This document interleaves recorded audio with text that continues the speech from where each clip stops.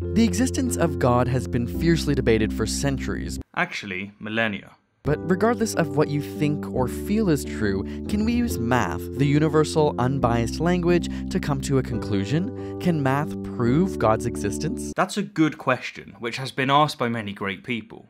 But I wonder, do you have what they didn't? That is, do you have the necessary information and knowledge to ask such a question? And further still, do you know how to do so in a logically valid way? Spoiler, the answer is no. However, before I delve into why, let me lay down a bit of groundwork. ASAP Science is an excellent YouTube channel that's ran by Mitchell Moffit and Gregory Brown, who both do a fantastic job of making science accessible to the general public. But every once in a while they make a profound mistake, and unfortunately, in their video titled, Can Math Prove God's Existence, they made many. This is ASAP Science's Can Math Prove God's Existence debunked.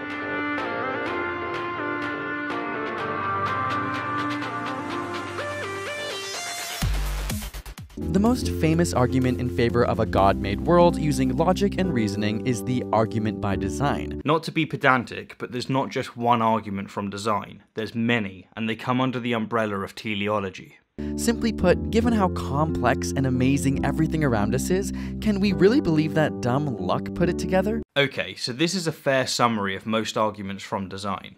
But the reason I've decided to interject is because I want to make the massive black and white fallacy that it commits abundantly clear. Because, believe it or not, despite ASAP later exposing it themselves, they failed to do so sufficiently, and I'll explain exactly why when we get to it. Anyhow, put simply, a black and white fallacy occurs when someone presents two states as if they are the only possibilities, when more may exist.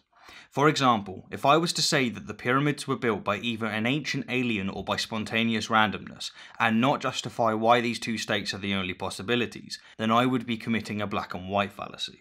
Furthermore, I would be outright ignoring a third possibility that just so happens to have an overwhelming amount of evidence in its favour, that being that they were created by humans.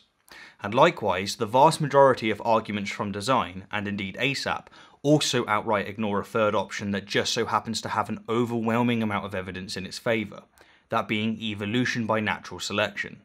But I'm getting ahead of myself now, and so I'll explain this in detail later. Even from a scientist's perspective, life is amazing, incredibly rare, and took a monumental amount of steps, chance happenings, and time to come about. What do you mean by even from a scientist's perspective? Scientists tend to be more in awe of life than the average person, and to the contrary, many of them are convinced that life is not rare, but is actually abundant. So, a religious person may argue, doesn't it seem much more plausible that there was some driving force behind it all? This type of argument is called reductio ad absurdum, which simply means it attempts to disprove a statement by showing it inevitably leads to absurd or impractical conclusions. In this case, it suggests that 1. If there's no God, humans developing is very unlikely, 2. Humans did develop, therefore 3. It is unlikely that there's no God. Okay, so this is simply a syllogistic rendition of the argument that places specific emphasis on the existence of humans, and it's a pretty bad one, because its conclusion is within its first premise, meaning that it's begging the question. It's comically circular.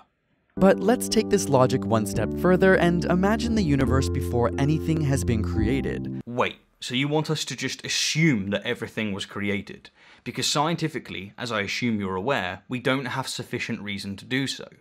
In fact, we've never seen anything be created from nothing, and so you're asking us to make one hell of an assumption. Here we have a Bayes box where we have our two possibilities of God existing and no God existing. On the other side, our possibilities are that humans exist or that humans don't exist. Right, so here we have a Bayes box where we have two possibilities of an alien existing and no alien existing, and on the other side possibilities that pyramids exist and pyramids don't exist. If no God is true, then most would agree that human existence takes a lot of specific factors to come about. Yeah, except for the millions of religious people who don't believe in a God.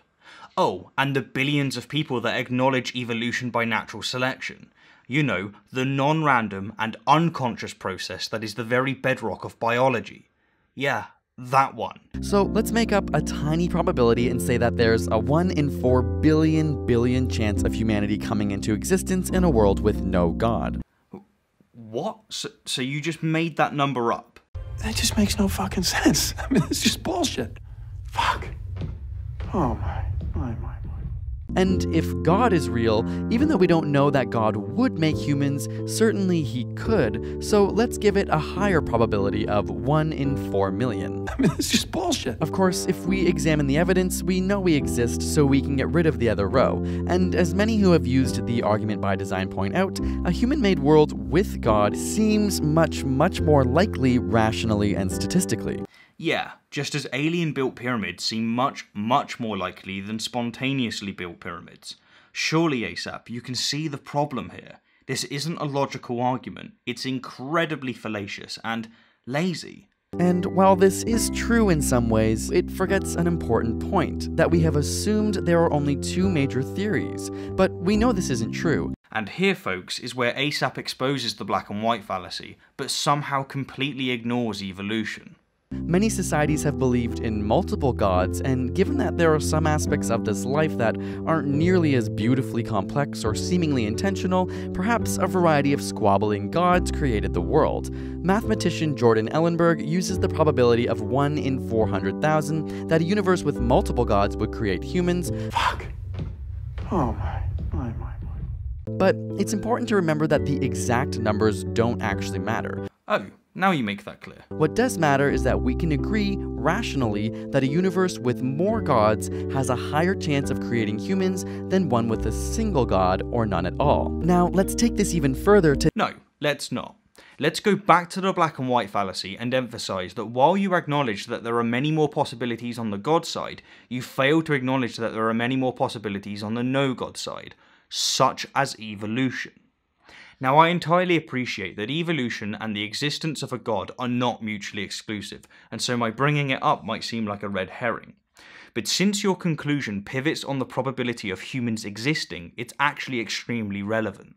Because the probability of humans being, like all other known organisms and like all of the evidence suggests, a product of evolution by natural selection, is significantly higher than humans being a product of dumb luck. In fact, for all intent and purposes, it's certain. And so, what this means is that if you want to postulate the probability of the existence of a god in reference to the existence of humans, then the only way to do so is to ask, what's the probability of a god or gods creating humans through the process of evolution?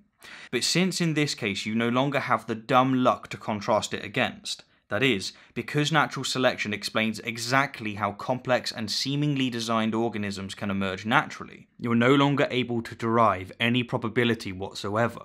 Indeed, you're left exactly as you were before asking the question, empty handed and with all of your work still ahead of you. Now, in response to this, you might want to change your question to either a god created the universe or dumb luck did. But in such a case, I would accuse you of all the same fallacies and state that if you just replace the word God with any other creation myth, such as the giant spaghetti monster, then the faults in your logic should become embarrassingly apparent. Finally, ASAP goes on to state that the chances of us being in a simulation, like The Sims, is statistically much higher than us being created by a god or gods, which, to be fair, is true. But this isn't the topic I want to conclude with. Instead, I want to conclude with a serious point on probability.